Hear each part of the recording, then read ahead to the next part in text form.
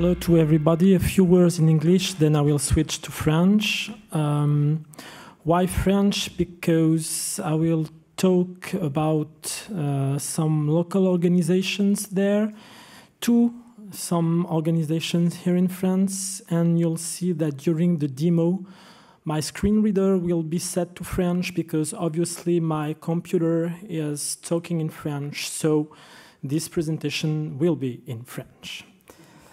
Uh, I'm just wondering about, est-ce qu'on peut avoir du son? Tout à l'heure on l'avait, là je l'ai pas. Si en régie.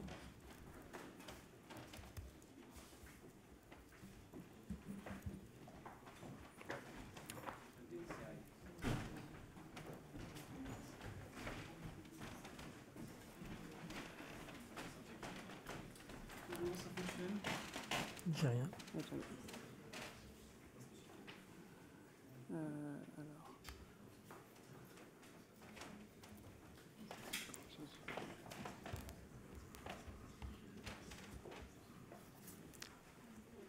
Bureau. Parfait. Merci.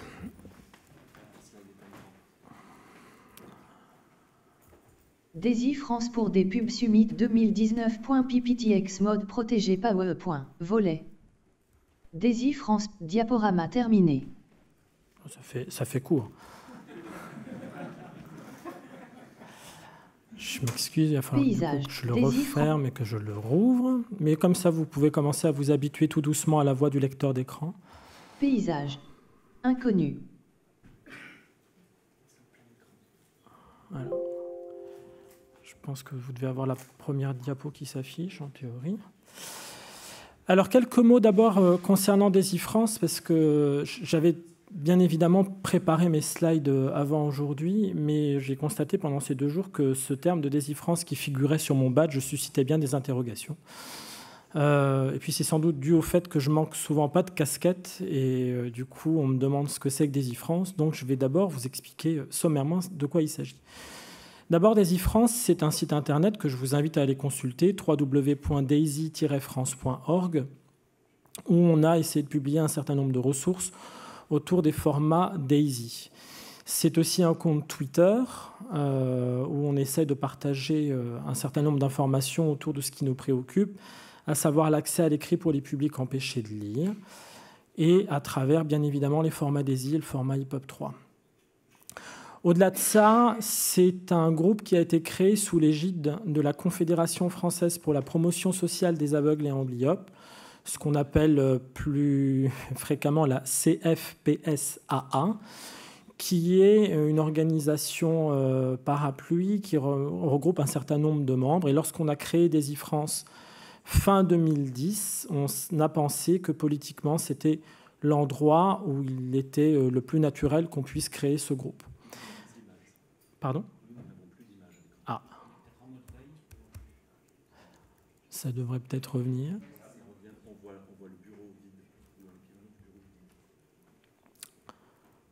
Et moi, j'ai plus de son. Alors moi, sans son, c'est compliqué. Euh... Sinon, je vais débrancher, rebrancher, mais Ça a l'air de venir de votre ordinateur le problème. J'en ai généralement pas pendant les présentations. Et je veux bien vous entendre, mais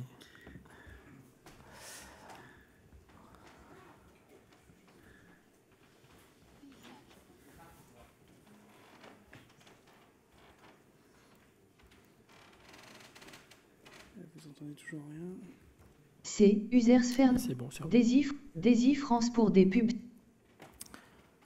Je sais pas si je suis dans le. C. Pas en plein Users. écran, là. Daisy France pour des pubs Summit 2019.pptx mode protégé. C. U. Daisy France. Daisy France. Paysage. Diaporama terminé. Diaporama terminé. Donc, qui en est membre? Rapidement, on a sept organisations aujourd'hui. On a l'association Braillenet, dont on a déjà pas mal parlé, l'association Valentin UI, l'association des donneurs de voix, euh, la euh, CFPSA, qui en est membre évidemment, la Fédération des aveugles de France, que je représente au sein de cette organisation, le groupement des intellectuels aveugles et amblyopes, et l'Institut national des jeunes aveugles.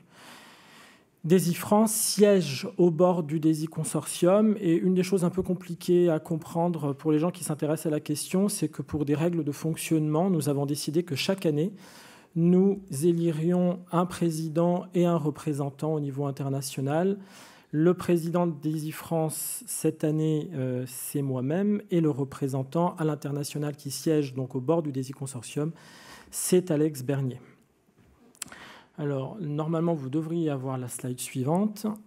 Euh, c'est ça. Donc, sur euh, les services qu'on peut trouver au sein des membres de DESI France, nous avons trois bibliothèques en ligne.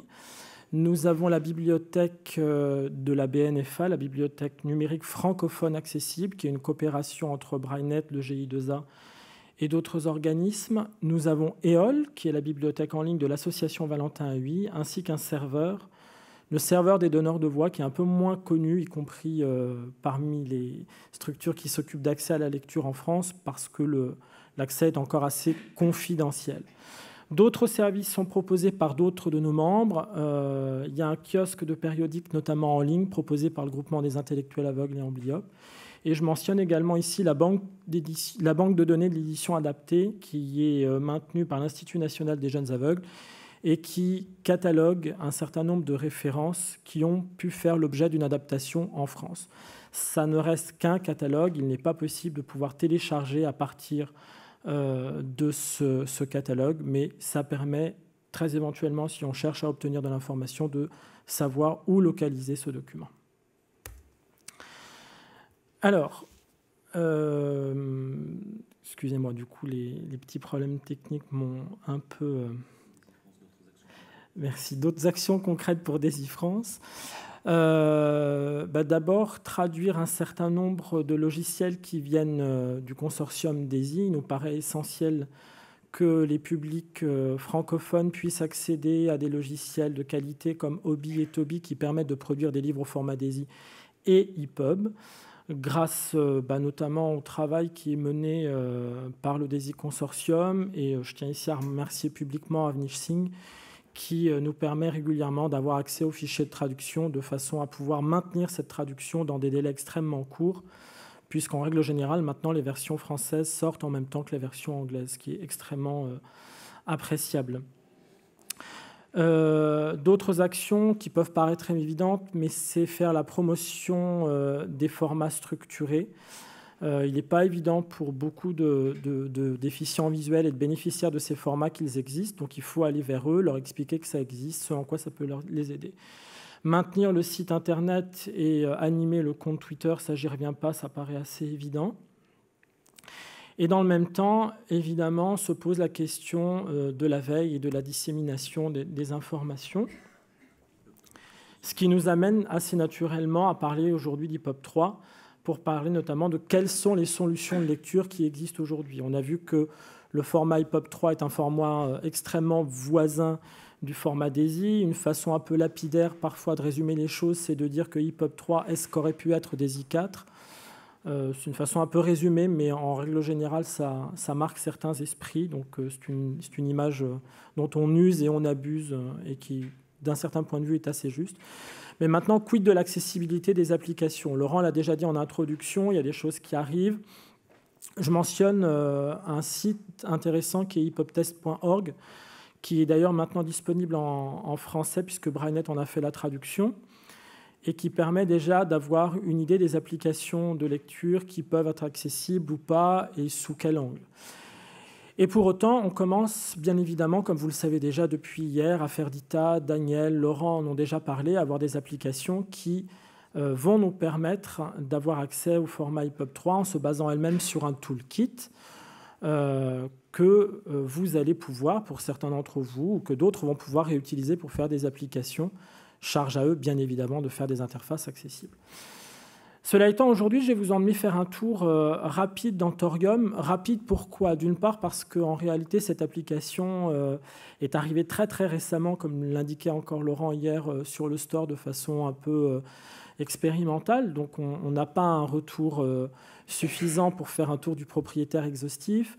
Mais ça va me permettre à la fois de, de vous parler d'usage, de vous parler de lecteur d'écran et de vous parler de l'application en elle-même. Donc maintenant, je ferme ce magnifique PowerPoint. Paysage. Des... Voilà, que nous ne regrettons pas, ni vous ni moi. Bureau liste. Et je vais donc maintenant lancer Thorium.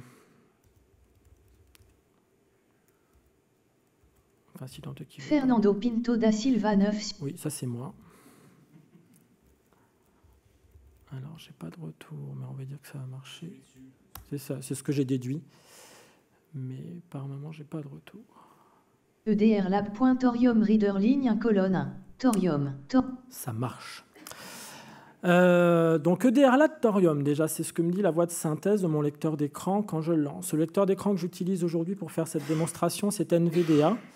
NVDA, c'est un lecteur d'écran qui est gratuit, disponible dans énormément de langues, euh, et qui, en l'occurrence, à ce stade de développement de Thorium, est celui le plus compatible euh, avec l'application telle qu'elle est. Alors pourquoi, euh, pourquoi NVDA Donc une part parce que c'est gratuit, d'autre part parce que sous Windows 10, c'est en capacité d'exploiter la voix de synthèse euh, qui est présente par défaut dans Windows, qui n'est pas une voix désagréable comme vous pouvez l'entendre. Euh, c'est une voix dont on peut ralentir et accélérer le débit dans la mesure où le temps m'était compté aujourd'hui. J'ai d'abord ralenti la voix pour ne pas vous faire souffrir inutilement et vous infliger une voix qui parle très vite. Pour autant, je veux que ça soit clair devant euh, cette audience que la voix que vous entendez ou que vous allez entendre au rythme où vous allez l'entendre, ce n'est pas et absolument pas le rythme à laquelle moi je l'utilise pour lire des contenus. Euh, ce que va me permettre un lecteur d'écran en conjonction avec Thorium, ça va être de pouvoir voir comment est organisée cette fenêtre. S'il y a des niveaux de titres, par exemple, pour appréhender mentalement comment les contenus sont organisés. Donc pour ça, j'ai notamment une commande qui est un raccourci clavier qui est H en l'occurrence pour aller de titre en titre. Clickable région principale reprendre la lecture titre niveau 1. Et donc là, j'ai un bouton cliquable sous forme de titre 1 qui me dit reprendre la lecture. Donc en cliquant là-dessus, j'imagine pouvoir reprendre la lecture, mais je peux continuer à explorer la page en allant chercher le titre suivant. Dernier ajout titre niveau 1. Dernier ajout, toujours titre de niveau 1, donc j'ai même la, la hiérarchie des titres. Euh, donc je me mentalise la chose comme étant finalement euh, représentée de la même façon comme reprendre la lecture. Et là, du coup, je sais que là, je vais retrouver finalement ce que j'ai pu ajouter dernièrement à l'étagère de cette application de lecture. Aucun titre suivant. Voilà, donc là, je sais que j'ai deux titres précisément et que j'en ai pas d'autres, puisque là, le, le lecteur d'écran euh, vient de me signifier que j'ai pas d'autres titres à explorer. Bouton réduit super collectif servant Schreiber Émile. Donc là, dans les derniers titres ajoutés, petit clin d'œil euh, à l'un de mes complices dans la salle, à savoir Luc Audrin, euh, j'ai l'extrait d'un hip-hop 3 qu'on a utilisé lors des rencontres nationales du livre numérique accessible à Villeurbanne en janvier, euh, et qui nous a permis de faire un certain nombre de démonstrations en environnement mobile. Aujourd'hui, j'ai repris le même extrait pour faire rapidement une démonstration. Et là, on voit que tout de suite, on me donne le, le titre de l'ouvrage, l'auteur, et je vais pouvoir interagir avec le bouton qui est là. Bouton réduit super collectif servant Schreiber Émile. Donc si je fais espace dessus, tout ça, ça reste des commandes euh, à la fois normalisées de Windows et à la fois en conjonction avec le lecteur d'écran NVDA que j'utilise aujourd'hui. Développer. Donc là, ça me permet de développer Clickable bouton fiche livre. Et du coup de faire apparaître des boutons qui étaient masqués avant à l'écran. Donc là, je vais par exemple cliquer sur le bouton fiche livre, toujours en faisant espace. Dialogue. Document. Fermer bouton fermer cette fenêtre. Donc là, on m'a dit dialogue document, donc je, je suppose qu'il y a une boîte de dialogue qui s'est ouverte, ou en tout cas quelque chose qui peut y ressembler, avec un bouton qui va me permettre tout de suite après de, de le fermer. Donc le, le lecteur d'écran a positionné le focus dessus.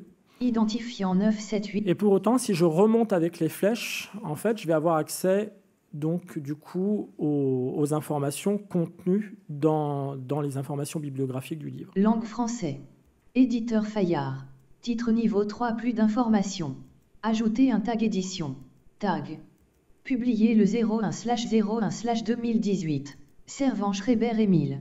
Titre niveau 2 super collectif. Liste de un élément bouton supprimé de la bibliothèque. Ça, ça serait une très mauvaise idée pour euh, la fin de la démonstration. Hors de liste bouton lire. Et là, j'ai le bouton lire euh, que je vais du coup pouvoir activer, toujours avec la touche espace, pour me remettre par exemple dans la lecture de cet ouvrage. Thorium Reader ligne 1 colonne 1. Thorium. Menu principal région navigation liste de cet élément bouton mode plein écran. Là, j'ai le mode plein écran qui, je suppose, devrait être plus agréable pour vous. Donc, je vais l'activer.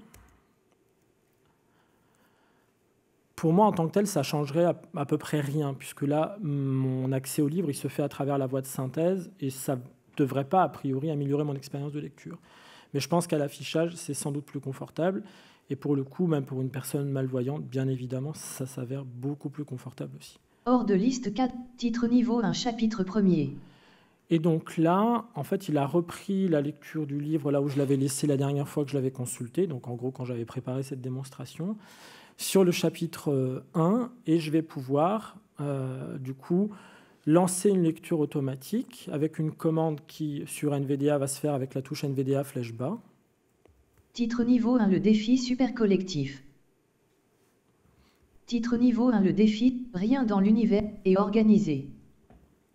Et organisé. Pierre Tellart de Chardin. Où je vais pouvoir parcourir avec les flèches, comme je suis en train de le faire maintenant. La magnifique termitière dans la photo page lien 11 est d'autant plus étonnante qu'aucune des minuscules cervelles qui ont participé à sa construction. Là, je le lis flèche à flèche. Je pourrais très bien lui demander de lire paragraphe par paragraphe, toujours avec des commandes standards du lecteur d'écran, à savoir contrôle flèche bas.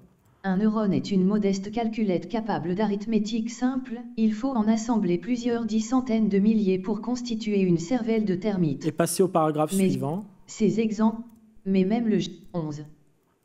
Graphique figure 1.1, une termitière étonnante. Là, en allant de paragraphe en paragraphe, je suis tombé sur un graphique qui était là sur une image, ah, donc NVDA dit graphique. Et en réalité, je vois que là, j'ai même euh, une alternative textuelle fournie à l'image ce qui est extrêmement propre et qui du coup me permet de savoir de quoi il s'agit quand on parle de ce graphique. Voilà, je dirais en, quelques mots ce que je voulais vous montrer aujourd'hui. C'est bien évidemment assez bref. Euh, il y a ce que je vous ai montré qui fonctionne. On aurait pu montrer ce qui ne fonctionnait pas encore. Pour autant, on, voilà, on est tous là euh, bien conscients du fait que c'est un début, c'est le début d'un chemin. On va continuer à travailler à améliorer cette expérience de lecture. Mais voilà, comme pour beaucoup d'autres choses, on a déjà commencé à, franchir une marche. On a là une nouvelle génération d'applications de lecture avec de nouvelles fonctionnalités. On voit que déjà avec un lecteur d'écran gratuit, disponible dans plusieurs langues, ça fonctionne plutôt pas trop mal. Reste à maintenant euh, améliorer tout ça et c'est ce pourquoi on va continuer à travailler ensemble, DESI France et EDR Lab. Je vous remercie.